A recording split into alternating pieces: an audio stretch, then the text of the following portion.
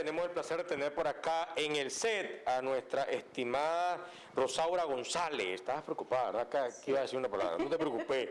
Ludopedagoga, con ella vamos a platicar acerca de cómo mejorar la concentración en los niños. está culminando el año casi académico, pero se avecina otro nuevo año. Usted quiere hacer cambios, si los niños están todavía pequeños entrando en el año escolar, no se preocupe. Vamos a conocer cómo mejorar la concentración en los niños en todo el ámbito y sentido de la palabra. Rosaura, buenos días. Buenos días, un placer estar por acá y compartiendo este tema que nos interesa a todos, porque a lo mejor estamos terminando un año, pero siempre empieza otro, y si tenemos niños apenas en preescolar, primer nivel, segundo nivel, eso es un excelente momento para empezar a trabajar la concentración. Totalmente. Sí, entonces aquí sería interesante primero eh, que definamos qué es la concentración, ¿verdad? Porque a veces creemos o confundimos un poco la atención con la concentración. Entonces, atención es algo gratuito, es algo que lo tenemos todos, ya viene con nosotros, de repente estamos aquí y nos llama la atención algo, pum, lo veo, me quedo ahí, posiblemente me pueda quedar un momentito, o a lo mejor lo que haga es que voy, vengo, voy, vengo, dependiendo de mi nivel de concentración, porque la concentración es una habilidad social. Y esta habilidad social tiene su base en la autonomía. Yo no puedo tener, yo no puedo esperar en mi hijo o en mi hija una habilidad social de la, de la concentración cuando mi hijo no tiene autonomía. ¿Y a qué me refiero con esto? Como es su base, entonces a veces es que el niño se sienta con esta misma libertad que posiblemente pueda tener un adulto. Y voy a darte algunos ejemplos.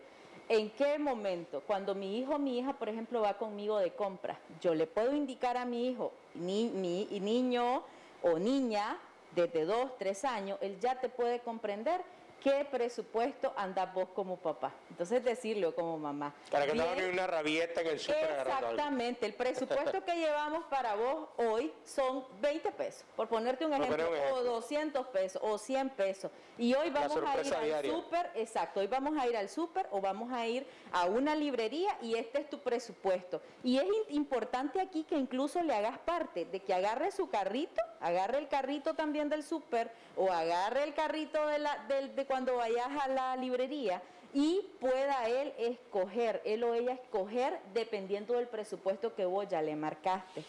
Porque a veces lo que hacemos es que no le marcamos un presupuesto, solo lo llevamos y el niño entonces escoge todo.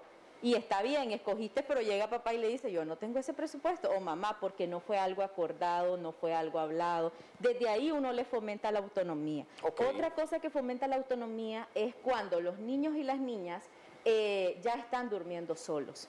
A veces tenemos niños durmiendo con nosotros, con papá y con mamá ahí bien pegaditos, todavía a los 5 o 6 años, ya no sería lo adecuado. Aquí lo adecuado es que tu niño o tu niña tenga su camita, porque si no, él se va a seguir sintiendo bebé.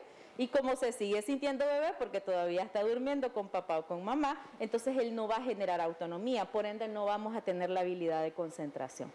Ok, has mencionado dos puntos muy importantes, libertad, autonomía, concentración, para poder lograr eso y evitar que sigan sintiéndose bebé. Sí. Muchos cometen este error y lo miran normal y habitual. Le estamos perjudicando la concentración entonces. Ahí se está perjudicando porque cuando vos querés venir y querés hacer ejercicios de concentración, tu niño no los va a lograr porque él se siente que todavía está bebé.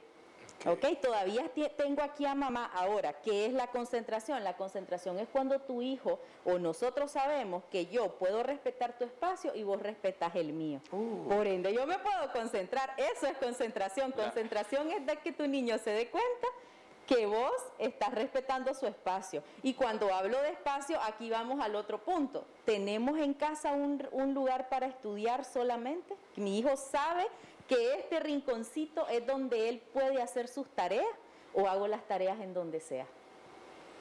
O quiero que mi hijo se concentre en algo, pero lo tengo expuesto a muchas, mucho ruido, mucha distracción, tengo muchas cosas que le pueden llamar su atención y como decía, la atención es gratis. Entonces uno viene, llega, lo llevas a un espacio, ponele, estamos en la casa y en la casa tenemos, eh, hacemos las tareas en la sala llega todo el mundo a la sala, suena el teléfono, pueden llegar a visitarte, eh, puede pasar tu hermanito jugando, está la televisión prendida, entonces no vamos a lograr concentración. Aquí es que en casa, un primer paso, vengamos y digamos, ok, este va a ser tu espacio, hijo. Que mi hijo sepa que ese es su espacio para estudiar. El otro punto y otro error que cometemos muchas veces los padres, sobre todo ahorita que tenemos las clases en línea o semipresenciales todavía, ¿qué sucede? No llegan las tareas. ¿A quién le llegan primero? Al papá o a la mamá. ¿Y qué hace papá y mamá? Posiblemente comete el error de hablar de la cantidad de tareas que le dejaron al niño, de lo difícil que pueden ser estas tareas, porque a lo mejor para el padre es abrumador también eh, hacer tareas con tu niño o no tenés esta habilidad ni esta paciencia de poder sentarme y hacer las tareas con él. Entonces, al empezar a hablar, cuando me llegan las tareas, qué cantidad de tareas, son demasiadas tareas, no vamos a poder, por dónde vamos a empezar, y es que no entiendo por qué te dejan tanto. El niño empieza a decir, posiblemente mi mamá no puede, no, lo voy a poder. Entonces es enseñarle a mi hijo también a través del juego. Los niños aprenden jugando. Entonces, a ver, ¿qué tareas tenemos? Son estas.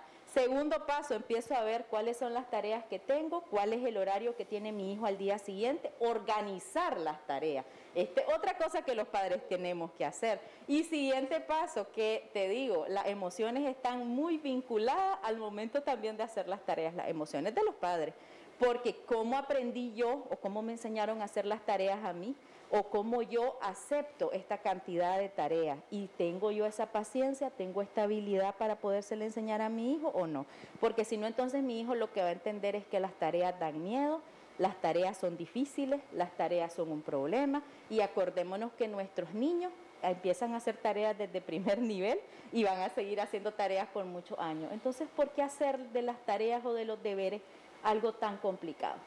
Es mejor que disfruten, que aprendan, que gocen, aprender jugando, como vos decís, jugando, eh, aprendiendo jugando y esto pues obviamente va a generar una concentración y una mejor actitud del niño en los estudios. Rosaura, ves, te dije, iba, eh, yo solo va y vos, no te preocupes, hablando. No te preocupes. ¿Cómo te pueden contactar nuestros amigos televidentes para una asesoría con vos, para poder ayudar a sus niños a concentrarse o otros temas y tópicos en el desarrollo de los niños, de la parte, de lo que es tu especialidad como ludopedagoga. ¿Cómo te pueden contactar? Muy bien, me pueden contactar al 8778-0272, por ahí estamos respondiendo todas sus inquietudes y, e incluso me pueden escribir si tienen alguna situación y quizás ustedes me dicen, no, no podemos a lo mejor pagar una consulta, pero quizás se les puede hacer alguna remisión a otros espacios dependiendo de la situación que tengan. Eh, también estoy en Instagram como Ros Ludopedagogía 2 y en Facebook y TikTok como Ros Ludopedagogía, que ahí seguramente van a encontrar algunos también de los videos o de los espacios que tenemos dentro de los programas. Ahí los, ponemos en TikTok por si no lo vieron, entonces ahí lo pueden seguir viendo. Muchas gracias, Rosario. Gracias a ustedes. Gracias por acompañarnos y así nosotros culminamos la revista la mañana de este día jueves. Le deseamos que usted tenga un feliz día. Lo espero mañana viernes 8 en punto de la mañana. Nos vemos.